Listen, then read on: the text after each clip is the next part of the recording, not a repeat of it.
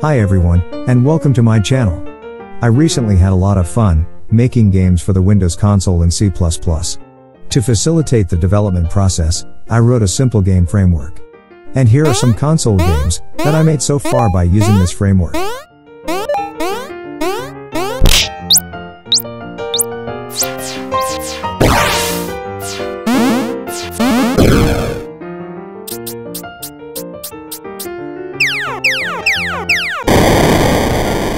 Are surely pretty impressed with these masterpieces. Don't you?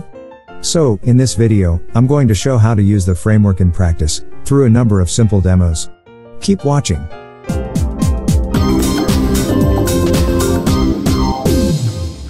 Let's get started with my arsenal of development tools. The Notepad++ Plus text editor is used for writing the code. The MinGW is used to build projects with a GCC compiler. The command line is used to execute scripts, which runs the compiler with additional options. Now, let's briefly describe the framework, imaginatively named Consoler. It consists of two files. The first one is the interface with the declarations of all classes and methods. The second one is the implementation of all that. So, let's take a look at some features of the framework. It creates a new console window, runs the main loop, and handles all user inputs from a keyboard or mouse. To render the scene, it uses color attributes of the console buffer. So instead of being used to display characters, each character cell actually represents one pixel. Thanks to this fact, we can quickly clean the screen. Furthermore, we can draw pixels, lines, rectangles, circles, and even sprites. We can also print text using the bitmap fonts. The framework also contains some utility functions, an audio manager to play sounds, and a sprite manager to manipulate with sprites. The preprocessor statements, at the beginning of the interface, provide access to the framework as a dynamic or static library. Here is the script, which runs the compiler to generate a dynamic link library.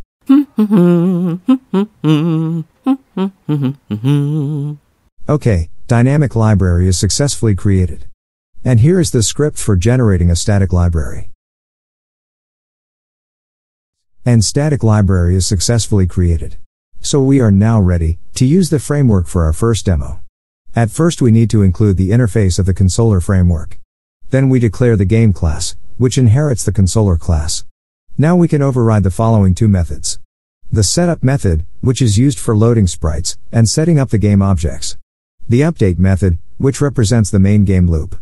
So inside this method, let's call a function to clean the screen in each frame. Finally, we have a main function, which is the entry point of the program. Here we initialize a new game, by defining the default console configuration. The configuration parameters are the console title, the screen size represented by number of characters per row and column, the screen zoom in the X and Y directions, and the desired number of frames per second. Once the console is created, we can run the main game loop. Let's compile the game, using the dynamic consoler library. If everything is okay, we should get a black screen. Nice. To exit the game, press the escape key. Instead of clearing the screen with the default black color, let's clean it with the green color. Of course, we can use any other color from the rich console color palette. We have these 16 colors available. So let's clean the screen with random colors, in the range from 0 to 15. Here we also need to initialize the random seed. Oh boy, what a wonderful psychedelic effect. Let's define a counter variable, to slow down the color change a little bit. Now, let's draw randomly colored pixels, over the entire screen. Well, this demo is very useful, and instructive. It shows a drastic drop in frames per second, when many cells of different colors must be rendered.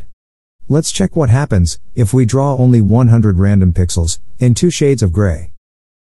As we see, the number of frames per second is high again.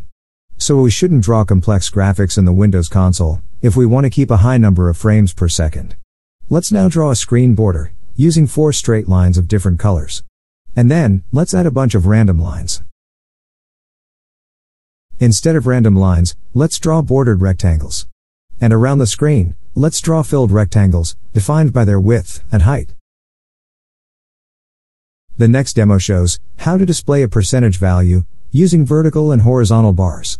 The rectangles around the screen are now defined by fixed coordinates. Now, let's draw a bunch of random circles, of different sizes and colors. Well, this looks pretty good.